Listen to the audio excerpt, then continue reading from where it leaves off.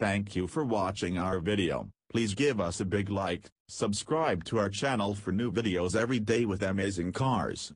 Leave us your opinion in the comment section on the video. Thank you. Car dealerships in Scandinavia, and perhaps beyond, have something against electric vehicles. That's the conclusion of an investigative study conducted by researchers in Nordic countries, where they visited car dealerships and found agents actively discouraging going electric.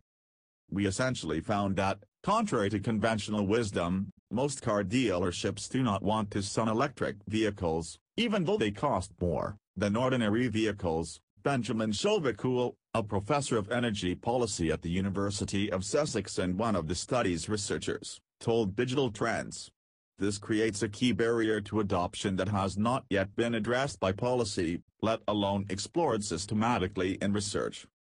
To conduct their investigation, the researchers visited 82 car dealerships in Denmark, Norway, Sweden, Iceland, and Finland. They arrived under the guise of being everyday customers, and later spoke to experts to give context to their experience. In two-thirds of their visits, agents steered the researchers toward gas-powered cars, sometimes dismissing electric vehicles, EVs, outright. In over three-fourths of the visits, vendors didn't even inform the researchers that they sold EVs. At one dealership, the researchers report being told, do not buy this electric car, it will ruin you financially. Dealers act as a key type of agent known as an intermediary, someone between a product and service on the one hand, and the user, customer, or owner on the other hand, Sovacool said. They can thus exert very strong influence over what consumers think and do. Sovacool notes that the dealer's role is particularly strong today, given that the relative newness of EVs means consumers don't know much about them.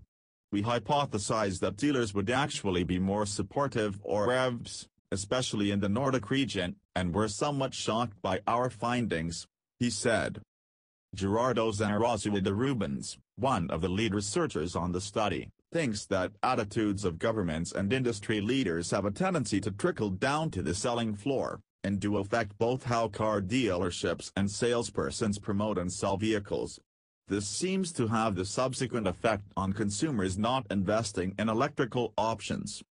If these countries are true about using electric vehicles as a tool for decarbonizing transportation, there needs to be a systematic revision of their policies and strategies to harmonize them and create a level playing field, where the EV is a fair option in comparison to a petrol or diesel car, de Rubens, a business and technology doctoral fellow at Aarhus University, said.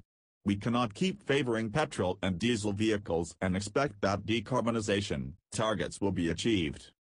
The report was published this week in the journal Nature Energy. Thank you for watching our video, please give us a big like, subscribe to our channel for new videos every day with amazing cars. Leave us your opinion in the comment section on the video. Thank you.